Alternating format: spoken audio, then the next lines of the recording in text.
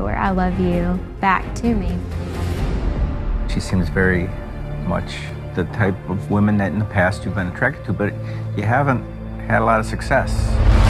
Do you think that love is enough to make a relationship last? You have to sacrifice. If you can't do that, it won't work. It's very hard to comprehend how strong I feel for each of these women. But I'm not sure what's going to happen.